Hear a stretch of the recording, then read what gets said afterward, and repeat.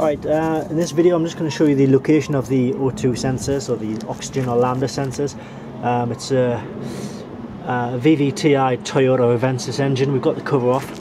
We've got the um, manifold cover off as well.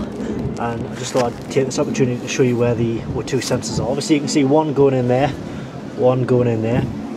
Now, if you follow down here, probably can't see very well, but down there there's another sensor going in there and the same at the bottom.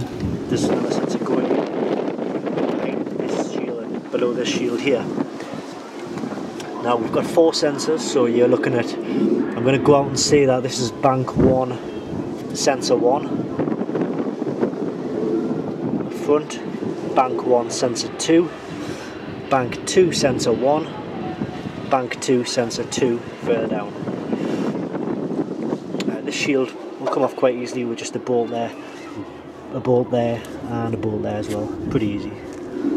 Uh, so that's the location of the O2 sensors for this Toyota Avensis